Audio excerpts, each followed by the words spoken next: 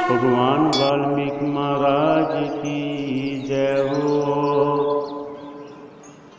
ਸ਼੍ਰੀ ਸ਼੍ਰੀ 108 ਸਤਿਗੁਰੂ ਗੁਰੂ ਗਿਆਨਨਾਥ ਜੀ ਮਹਾਰਾਜ ਕੀ ਜੈ ਹੋ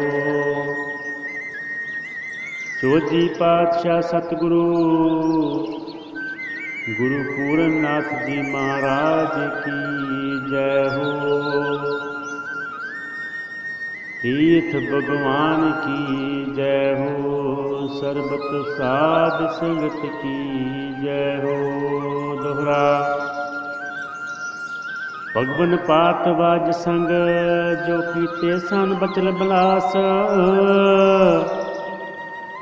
ਕੋਜ ਪਤਰਾਂ ਸਾਂਭ ਲਿਆ ਸੀ ਪੂਰਨ ਕੁਲ ਤਿਆਸ ਭਗਵਨ ਪਾਤ ਵਾਜ ਸੰਗ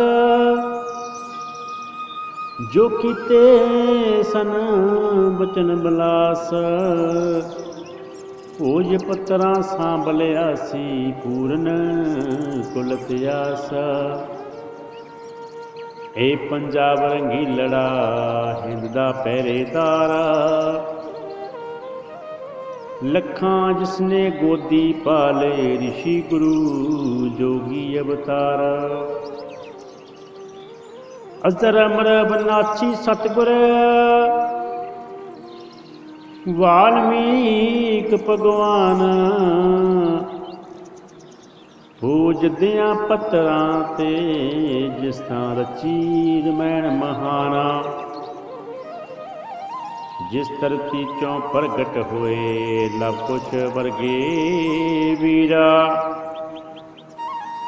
ਸੂਰਵੀਰ ਜੋ ਦੇਣ ਖਿਲੇ ਸ਼ਕਤੀ ਦੀ ਤਸਵੀਰਾ।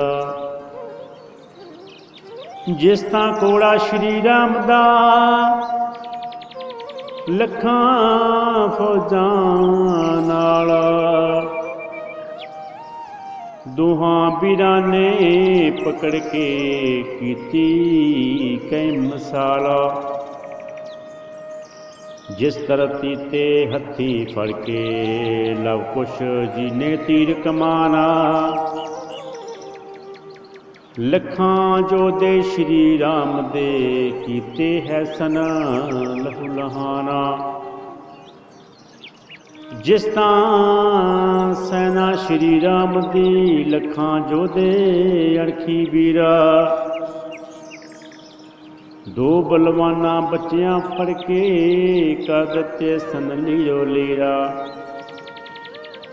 ਪਵਨ ਪੁੱਤਰ ਸ਼੍ਰੀ ਹਨੂਮਾਨ ਜੀ, ਜੋ ਸੀ ਅੰਜਨੀ ਮਾਂ ਦਾ ਲਾਲ।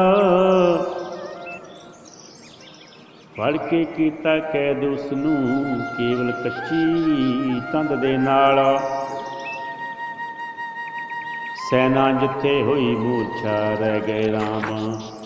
ਦੁਸ਼ਮਣ ਤੇ ਸਕਰੀ ਵੀਰ ਜਿਸ ਤਾਂ ਜ਼ਖਮੀ ਹੋਏ ਪ੍ਰਾਣਾ। ਸੀਤਾ ਅੱਖੀ ਦੇ ਕੇ ਜਿੱਥੇ ਰੋ ਰੋ ਕੇ ਕੀਤਾ ਬਲਾਪ, ਆਖੇ, ਪੁੱਤਰੋ ਵਿੱਚ ਭਲੇਖੇ ਸੇ ਹੋ ਗਿਆ ਵੱਡਾ ਪਾਪ। ਇਹ ਤੇ ਸੈਨਾ, ਆਪਣੀ ਬਚਿਓ, ਆਪਣਾ ਹੀ ਸਾਰਾ ਪਰਿਵਾਰ। ਨਾਲ ਸ਼ਸਤਰਾਂ ਪਿਆਰੇ ਪੁੱਤਰੋ, ਹੱਥੀ ਦਿੱਤਾ ਜਿਸ ਨੂੰ ਮਾਰਾ। ਸੀਤਾ ਜੀ ਦੀ ਸੁਣ ਕੇ ਸਤਿਗੁਰ ਕੰਨਾਂ ਵਿੱਚ ਫਰਿਆਦ ਤੁਕੇ ਪੂਰਨ ਸਤਿਗੁਰੂ ਕਰਨ ਲਈ ਉਸ ਦੀ ਇਮਦਾਦ ਦਹਰਾ। ਸੈਨਾ ਜਾਂ ਸ਼੍ਰੀ ਰਾਮ ਦੀ ਬੈਠੀ ਪ੍ਰਾਣ ਤਿਆਗ, ਪੂਰਨ ਅਮਤ ਨਾਲ ਜਵਾਈ ਸੈਨਾ ਫਿਰ ਭਗਵਾਨਾ ਕੁਹਾਂ ਤੀਕ ਸਤਿਗੁਰ ਦੇਖਣਾ। ਸੈਨ ਛਾਜਦ ਚਾਤੀ ਮਾਰਾ, ਨਜ਼ਰੀ ਆਉਂਦੇ ਗੁਰਾਂ ਨੂੰ ਲਾਸ਼ਾਂ ਦੇ ਅੰਬਾਰ। ਕਦ ਬਖਸ਼ ਦੇ ਸ਼ਹਿਨਸ਼ਾਹ ਕੀਤਾ ਓ ਪਾ। ਦੇ ਪੁਰੀ ਚੋਂ ਸਤਗੁਰਾਂ ਅੰਮ੍ਰਿਤ ਲਿਆ ਮਗਾ। ਜਿਸ ਮੁਰਦੇ ਤੇ ਅਮਰਤੀ ਉਹ ਛਟਾ ਜਾਂਦਾ ਪੈ। ਉਹ ਉੱਠ ਕੇ ਬੋਲਦਾ, ਸ਼੍ਰੀ ਵਾਲਮੀਕ ਦੀ ਜੈ। ਸਾਰੀ ਸੈਨਾ ਰਾਮ ਦੀ ਹੋ ਗਈ ਜਾਂ ਸਰਜੀਤਾ